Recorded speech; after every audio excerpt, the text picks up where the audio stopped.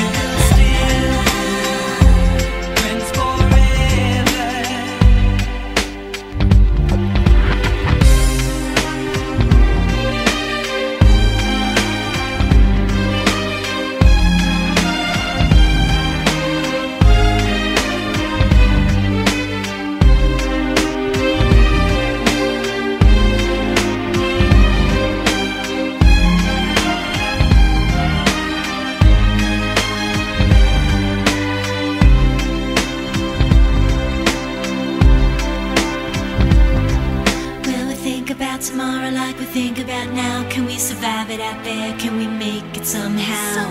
I guess I thought that this would never end. And suddenly it's like we're women and men. Will